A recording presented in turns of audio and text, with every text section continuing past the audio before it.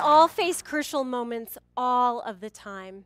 Those moments when our colleagues disappoint us, when our boss is treating us unfairly, when our spouse is letting us down, or our children are treating us badly. And we know in those moments we need to confront. And yet, we don't. Or when we do, it goes badly. Why? I'll tell you why, because I don't, I, I, don't exactly understand why, as human beings, we always ask ourselves this question. But how many of you have been tempted by this thought? What is the worst and most hurtful and personal way I could possibly respond in this moment? Right? okay, and so then our emotion gets going, it's strong, it's out of control. And what we know is that we tend to, to behave not as well as we could. And in that moment, oftentimes we commit what's called the fundamental attribution error. When looking at other people's behavior, we jump to a conclusion. And we believe in that moment that people are doing what they're doing because they enjoy it. Here's what happens in our minds, we think to ourselves, I know why he's acting that way, because that's the way he is. Because he's just a jerk, and that's the way he treats people, and that's the way it always is. He's just selfish, he's lazy, he's arrogant, and there's just really nothing I can do about it. Okay? So when we when we jump to this conclusion, and that's of course a bit dramatic in terms of um, explaining what our thought process is, but but for many of us, the challenge is that we are assigning an attribute as to why people are doing what they're doing. We are fundamentally attributing people's behavior in erroneous ways. And what, what's happening when we jump to the fundamental attribution error is that we are assuming that people behave the way they behave because they are personally motivated to act that way. And this is a very limited view of, of human behavior. So, what we need to do is talk about what are some potential ways that we can rethink those conclusions if we want to have more healthy outcomes in our crucial confrontations. If I decide that you act the way you are acting because you are bad and evil and horrible, it is very difficult for me to have an effective confrontation with you because I am filled with judgment. What we want to do is begin to think more broadly and recognize that there are six sources that influence human behavior, not just the one that we so readily conclude. So you'll see here that we're talking about both motivation and ability. We often forget ability. We assume that if people wanted to behave differently, they would, not realizing that oftentimes people are behaving badly because it is incredibly difficult for them to behave any other way. And so, what we want to be able to do is understand that there are lots of different ways for us to understand what's going on that, that motivates people to act in the way that, that they do. And it can be on the personal level. It can also have to do with what others are doing on the social level that perhaps are affecting their choices. And it might also have to do with some of the non human elements, the structural elements in our environment that could cause people to be acting the way they're acting. I'd like to just walk us through the six sources of influence here, and you'll find that these are delineated by numbers. So I'll walk through each of these. The first source of influence is personal motivation. We've been talking about this. We decide people act the way they do because it brings them pleasure and it's congruent with who they see themselves to be. Okay, but we know that that's not always a full explanation. Source number two suggests that people act the way they do because to do any other action would require skills and ability that perhaps they might not have. They might have an ability issue present that we're not thinking about. Let me just walk you through a scenario here. I want you um, to imagine that you are on a, an executive leadership team, and there's a gentleman on your team named Ed. Now, you've both been assigned to different subcommittees, and your subcommittee relies on Ed's subcommittee to get information. Um, your task is to make a presentation to the director, and you need the report from Ed's subcommittee by noon on Friday in order to be able to prepare for your presentation to the director at 3 o'clock on Tuesday. Now, let's say it's Monday, it's 4 o'clock, and you have no report from Ed. How easy would it be for you to, to decide in that moment? Ed never makes our group a priority. He doesn't care that I have a presentation to do. He's just focused on his own needs, and it's just always like this. Right? We've assigned personal motivation as the number one reason that Ed is a big fat jerk. Okay? Now, what we know is that there could be a personal ability issue present. Now, I won't know this until I check it out with him. These are essentially just guesses. Okay? But let's let's at least have more guesses to work with than just one and see if that moves us into a place where we can check out our, our guesses rather than act them out, which tends not to go so well. Okay? So it could be that there's a personal ability problem present. Ed does not know how to use the advanced features of Excel that are required to do this report. And so he's struggling to get the report done.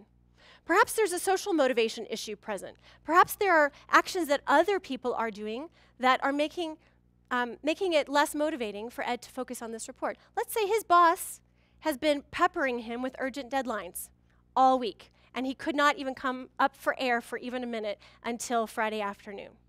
So his boss is now making it, making it less of a priority for him. Perhaps there's a social ability issue present.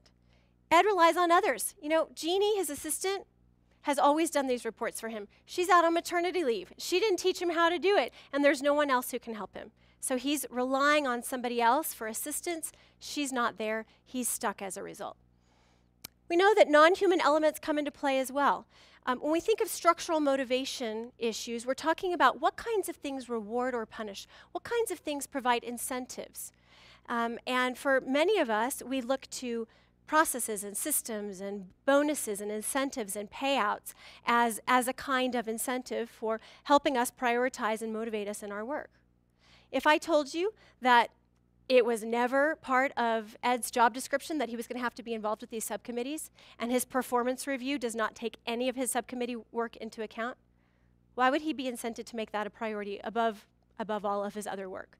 He's a busy, busy man. Right? And finally, if there's a structural ability issue present, we know that things can sometimes make it difficult. For example, if his computer breaks, pretty difficult to churn out an Excel report, right? So what we know is that all of these can go in tandem. Sometimes we just have a few working together, but we limit ourselves when we just see one option in front of us. I'd like to ask you to help me out here now that you have a sense of the six sources of influence. Take a look at this horrible, horrible example of what's going on in my neighborhood. My neighbor, who lives across the street from me, has let his lawn go to pot. And it's looking really bad. In fact, it's bothering me so much because I believe that it's affecting the property value of my house. Now, it would be so easy for me to jump to the fundamental attribution error, which would suggest that the reason my neighbor's lawn looks like this is what? He's lazy. He's just too lazy to care, right? But maybe, just maybe, there's something else going on here. So let's think about what else could be getting in the way. We're going to walk through a diagnosis here. Perhaps he doesn't enjoy mowing. That could be true. It could also be that there's a personal ability problem. He grew up in New York and he never learned, never had a yard, right? Maybe there's a social motivation issue going on. He is ticked at his wife and he is making a point. He is not mowing that lawn until she treats him right. Okay, so now who's my beef with? The wife, right? If I want to see change on my neighbor's behavior, I need to tar- start talking to the folks in his family. We know that there could be a social ability challenge.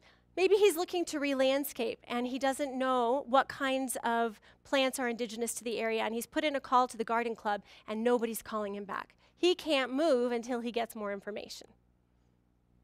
Perhaps there's a structural motivation issue. There's no incentive for him. You know what? We live in a neighborhood where there are no deed restrictions suggesting that he needs to be maintaining his lawn. And this guy owns his own business. How is he going to better spend his time? bringing in cash by doing his day job or cleaning up the yard when there's no incentive or reward there. Okay, and finally, if there's a structural ability problem, it could be that something's broken. His lawnmower isn't working. So, as interested as he is in having an award winning yard, he's got no tools to get it done. Okay? So, you can see here how many of these can come into play. What I'd like to offer you is a gift for when you run into those moments where it's so tempting to jump to the fundamental attribution error, here's my gift to you. It is a metaphorical set of dice for you to keep in your pocket at all times. Okay? Now picture a die. When you roll a die, there are six possible outcomes. If in troubling moments, we took a moment, just a half a second, and rolled a die, even if it were just mentally, and entertain the notion that perhaps it is not just source number one that is causing us grief, but perhaps there are other potential reasons people are acting badly. It forces us to evaluate what those other potential options might look like. Having more information, having a better understanding of what the problem might be, puts us in a better position to confront effectively when we do. I'd like to share with you um, that a friend of mine could have benefited greatly from, from this, this gift. Um, a couple of years back, um, she and I walked through a very painful journey together. This is a, a dear friend of mine. Her name is Leanne. We grew up together. And Leanne is an only child, and Leanne lost her mother, Marion, at a rather un, uh, young age, and it was quite unexpected. So Leanne was in her early 30s, and Marion was in her late 50s, which in my mind is far too young to lose a mother. And Leanne was obviously heartbroken and, and full of grief, and was comforted simply by the knowledge that as an only child, she had always known that she would be the sole heir to her mother's estate, and so she would be comforted by that gift from her mother. Um, her aunts, Marion's sisters, were responsible for executing the will. And Leanne received a phone call um, about three days after Marion passed away from one of her aunts. Now, Leanne wasn't there to take the call, so it was in the form of a voicemail message. And this is what her aunt told her. She said, Leanne, I just wanted to check in and let you know what's happening. Marion's estate is, is set up to be divided, um, uh, or set up to be um, put into the form of a family trust, which will be divided across um, you and me and my sister. So now the three of us will be, will be splitting evenly Marion's estate. So let's talk soon and, and we'll work out details. Now I just want to I want to pause there. And if you were Leanne, what in that moment do you think she had to have been feeling? Shock, tremendous pain. Because what does she believe her aunts are doing to her? They're taking advantage of her. They're cheating her out of her rightful inheritance. Now, you have to understand, Leanne's father is nowhere in her life. Her mother was is, is now no longer there. Her aunts are her only family members. And now they've abandoned her. This is to her just unacceptable. And she decides in that moment, I'm never talking to them again. They're no longer family to me. If they're going to treat me like this, I, I, can't handle I can't handle interactions like this. I'm too full of grief, and this is just hurting me even more. So, tremendous, tremendous pain. She spent a very miserable night recognizing that she'd been orphaned not just once, but several times over that week. Now, I'd like to suggest that in that moment, Leanne rolled a one. She jumped to the fundamental attribution error that her aunts were treating her badly because that's who they are. And we know that perhaps there are other reasons that might have motivated that behavior. Leanne's husband, thank goodness, had the foresight to suggest that perhaps she think on it, perhaps there might be some other explanation. When you don't have dice in your pocket, a good friend is, an, is, an, is a nice alternative. So find them, they will hold you accountable to this. Um, what, what we were able to do is, is um, get more information over the next couple of days. Leanne was able to enter into a dialogue with her aunts. And as it turned out, we uncovered more information. It turns out Leanne should have rolled a source number five. And what that tells us is that there was a structural motivation issue present. Her aunts explained to her that had Leanne received the entire inheritance, the tax penalty would have been so great that it would have actually lowered the amount that she would have received. So to receive only a third of the inheritance actually increased the amount that went into her pocket. So we have a beef with Uncle Sam here, right? Um, not the aunts. The other reality is that there was a structural ability issue going on. And here's what it was Marion, Leanne's mother, had taken a loan from her own mother, Leanne's grandmother. And no one imagined that Leanne's grandmother would survive her own daughter. So the will was written years ago to ensure that the loan would get repaid to the grandmother in the event that the grandmother was still alive upon Marion's death. The only way for Leanne to get any money whatsoever from this inheritance was for the grandmother's inheritance to be put into a family trust and to be divided evenly amongst all her heirs, which included Leanne and her two aunts. Can you imagine the consequences had Leanne not managed to get more information?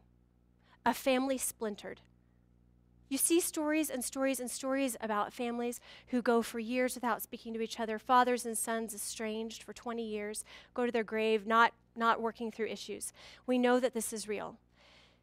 If we are able to do this with the only family we have, with the people we love most in the world, how easy is it for us to do this to our colleagues? How easy is it for us to do this to our bosses who frustrate us and give us too much work? How easy is it for us to blame our organizations for treating us badly. And we settle on one source of influence and we recognize that we are very limited in solving that problem. My challenge to each of you is roll your dice. imagine the possibilities because when we do not, we often jump to problem solving the wrong problem. How many of you would respect a doctor who prescribed treatment without first diagnosing the problem? That would be scary, wouldn't it?